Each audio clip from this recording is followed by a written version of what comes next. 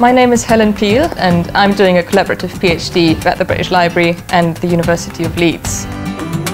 I study the working life of John Maynard Smith, a British evolutionary biologist. John Maynard Smith died in 2004 and his archive has been at the British Library since.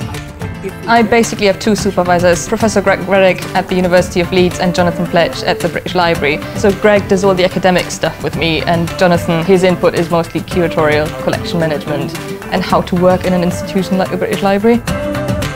The idea of studying the history of biology through one particular person seemed fascinating and because it's quite recent, it's also quite original because you know not a lot of people have looked at this material before you. By staying and working at the library now every day during the week, you get to know how people work in an institution like this to, to show me that this is something I would like to do as well.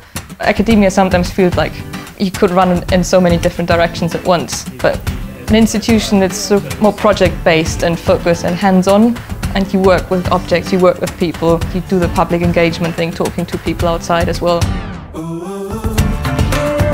I gave one talk as part of the Feed the Mind series that the British Library does, a sort of lunchtime talk.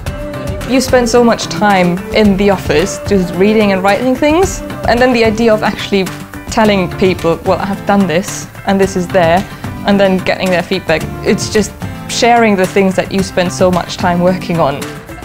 It feels like you're doing something and giving back. It's rewarding for yourself as well.